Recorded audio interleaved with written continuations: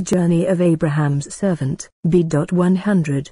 1857. 10 And the servant took ten camels of the camels of his master, and departed, for all the goods of his master were in his hand, and he arose, and went to Mesopotamia, unto the city of Nahor.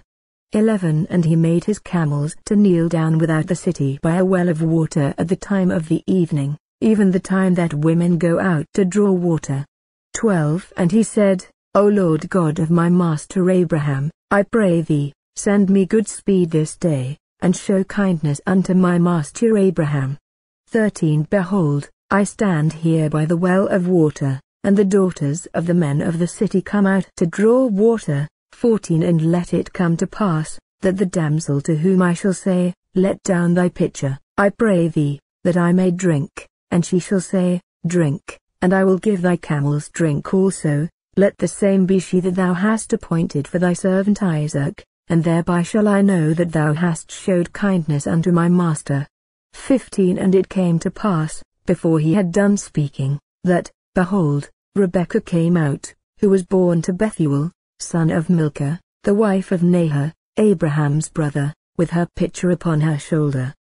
16 And the damsel was very fair to look upon, a virgin, neither had any man known her, and she went down to the well, and filled her pitcher, and came up. 17 And the servant ran to meet her, and said, Let me, I pray thee, drink a little water of thy pitcher. 18 And she said, Drink, my lord, and she hasted, and let down her pitcher upon her hand, and gave him drink. 19 And when she had done giving him drink, she said, I will draw water for thy camels also, until they have done drinking. 20 And she hasted, and emptied her pitcher into the trough, and ran again unto the well to draw water, and drew for all his camels. 21 And the man wondering at her held his peace, to wit whether the Lord had made his journey prosperous or not. 22 And it came to pass, as the camels had done drinking, that the man took a golden earring of half a shekel weight, and two bracelets for her hands of ten shekels weight of gold. 23 And said, Whose daughter art thou? Tell me, I pray thee, is there room in thy father's house for us to lodge in? 24 And she said unto him, I am the daughter of Bethuel the son of Milcah, which he bare unto Nahor. 25 She said moreover unto him, We have both straw and provender enough, and room to lodge in. 26 And the man bowed down his head, and worshipped to the Lord. 27 And he said, Blessed be the Lord God of my master Abraham, who hath not left destitute my master of his mercy and his truth, I being in the way, the Lord led me to the house of my master's brethren. 28 And the damsel ran, and told them of her mother's house these things.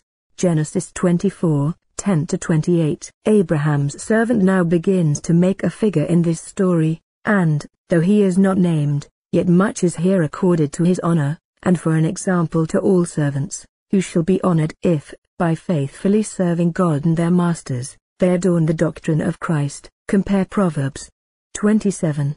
18 with Titus 2. 10. For there is no respect of persons with God. Colossians 3.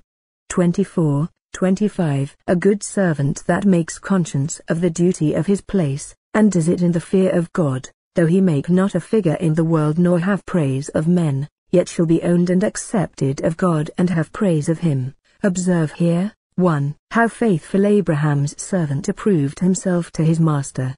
Having received his charge, he with all expedition set out on his journey, with an equipage suitable to the object of his negotiation verse 10, and he had all the goods of his master, that is, a schedule or particular account of them, in his hand, to show to those with whom he was to treat. 4. From first to last, he consulted his master's honor. Isaac being a type of Christ, some make this fetching of a wife for him to signify the espousing of the church by the agency of his servants the ministers. The church is the bride, the Lamb's wife. Revelation 21. 9. Christ is the bridegroom, and ministers are the friends of the bridegroom. John 3. 29. Whose work it is to persuade souls to consent to him. 2 Corinthians 11. 2. The spouse of Christ must not be of the Canaanites, but of his own kindred, born again from above. Ministers, like Abraham's servant, must lay out themselves with the utmost wisdom and care to serve their master's interest herein. 2. How devoutly he acknowledged God in this affair, like one of that happy household which Abraham had commanded to keep the way of the Lord, etc. Chapter 18. 19.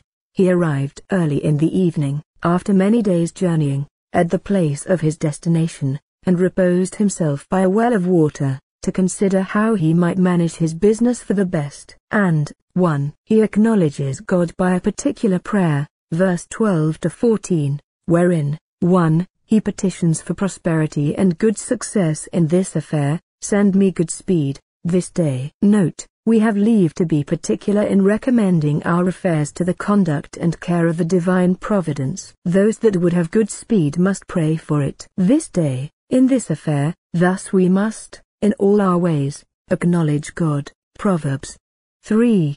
6. And, if we thus look up to God in every undertaking which we are in care about, we shall have the comfort of having done our duty, whatever the issue be. 2. He pleads God's covenant with his master Abraham, O God of my master Abraham, show kindness to him. Note, as the children of good parents, so the servants of good masters, have peculiar encouragement in the prayers they offer to God for prosperity and success. 3. He proposes a sign verse 14, not by it to limit God, nor with a design to proceed no further if he were not gratified in it.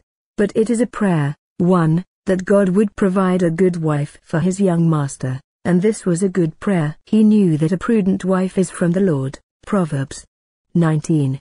14, and therefore that for this he will be inquired of. He desires that his master's wife might be humble and industrious woman, bred up to care and labor, and willing to put her hand to any work that was to be done, and that she might be of a courteous disposition, and charitable to strangers. When he came to seek a wife for his master, he did not go to the playhouse or the park, and pray that he might meet one there, but to the well of water, expecting to find one there well employed. 2. That he would please to make his way, in this matter, plain and clear before him, by the concurrence of minute circumstances in his favor. Note, first, it is the comfort, as well as the belief, of a good man, that God's providence extends itself to the smallest occurrences and admirably serves its own purposes by them. Our times are in God's hand, not only events themselves, but the times of them. Secondly, it is our wisdom, in all our affairs, to follow providence,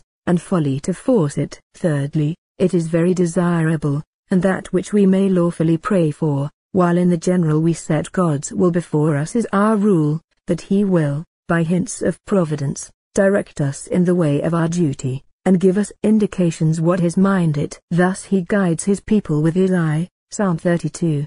8, and leads them in a plain path, Psalm 27. 11. 2. God owns him by a particular providence. He decreed the thing, and it was established to him. Job 22. 28. According to his faith, so was it unto him. The answer to this prayer was, 1. Speed you before he had made an end of speaking. Verse 15. As it is written, Isaiah 65. 24. While they are yet speaking, I will hear. Though we are backward to pray, God is forward to hear prayer. 2. Satisfactory. The first that came to draw water was, and did, in everything, according to his own heart. 1. She was so well qualified that in all respects she answered the characters he wished for in the woman that was to be his master's wife, handsome and healthful, humble and industrious, very courteous and obliging to a stranger, and having all the marks of a good disposition. When she came to the well, verse 16, she went down and filled her pitcher, and came up to go home with it. She did not stand to gaze upon the strange man and his camels, but minded her business and would not have been diverted from it but by an opportunity of doing good. She did not curiously nor confidently enter into discourse with him, but modestly answered him, with all the decorum that became her sex. What a degenerate age do we live in, in which appear all the instances of pride, luxury, and laziness. The reverse of Rebecca's character, whose daughters few are. Those instances of goodness which were then in honor are now in contempt. 2.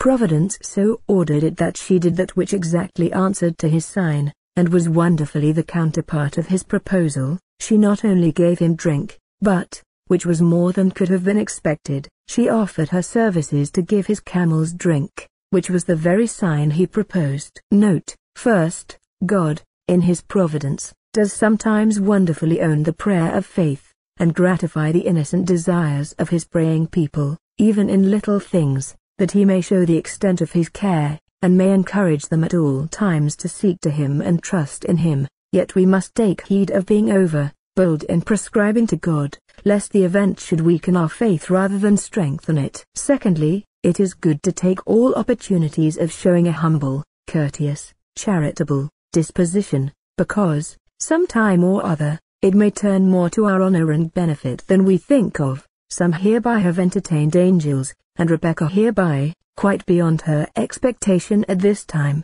was brought into the line of Christ and the covenant. Thirdly, there may be a great deal of obliging kindness in that which costs but little. Our Saviour has promised to reward for a cup of cold water. Matthew 10. 42. Fourthly, the concurrence of providences and their minute circumstances, for the furtherance of our success in any business, ought to be particularly observed, with wonder and thankfulness, to the glory of God. The man wondered, verse 21. We have been wanting to ourselves, both in duty and in comfort, by neglecting to observe providence. 3. Upon inquiry he found, to his great satisfaction, that she was a near relation to his master, and that the family she was of was considerable, and able to give him entertainment. Verse 23 to 25. Note.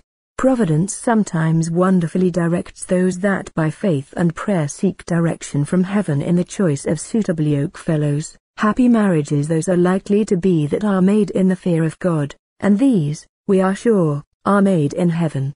3. He acknowledges God in a particular thanksgiving. He first paid his respects to Rebecca, in gratitude for her civility, verse 22, obliging her with such ornaments and attire as a maid, especially a bride, cannot forget, Jer.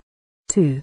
32, which yet, we should think, ill suited the pitcher of water but the ear, rings and bracelets she sometimes wore did not make her think herself above the labors of a virtuous woman. Proverbs 31. 13. Who works willingly with her hands, nor the services of a child, who, while under age, differs nothing from a servant. Galatians 4. 1. Having done this, he turns his wonder, verse 21, into worshipping, Blessed be the Lord God of my master Abraham, Verse 26, 27. Observe here, 1. He had prayed for good speed. Verse 12. And now that he had sped well he gives thanks. Note, what we win by prayer we must wear with praise, for mercies in answer to prayer lay us under particular obligations. 2. He had as yet but a comfortable prospect of mercy, and was not certain what the issue might prove, yet he gives thanks. Note, when God's favors are coming towards us we must meet them with our praises. 3. He blesses God for success when he was negotiating for his master. Note, we should be thankful for our friends' mercies as for our own. 4. He gives thanks that, being in the way, at a loss what course to steer, the Lord had led him. Note, in doubtful cases, it is very comfortable to see God leading us, as he led Israel in the wilderness by the pillar of cloud and fire. 5. He thinks himself very happy, and owns God in it, that he was led to the house of his master's brethren, those of them that had come out of Ur of the Chaldees, though they had not come to Canaan, but remained in Haran. They were not idolaters, but worshippers of the true God, and inclinable to the religion of Abraham's family. Note, God is to be acknowledged in providing suitable yoke fellows, especially such as are agreeable in religion. 6 he acknowledges that God, herein, had not left his master destitute of his mercy and truth. God had promised to build up Abraham's family, yet it seemed destitute of the benefit of that promise. But now Providence is working towards the accomplishing of it. Note, 1. God's faithful ones, how destitute soever they may be of worldly comforts, shall never be left destitute of God's mercy and truth, for God's mercy is an inexhaustible fountain, and his truth an inviolable foundation. 2. It adds much to the comfort of any blessing to see in it the continuance of God's mercy and truth.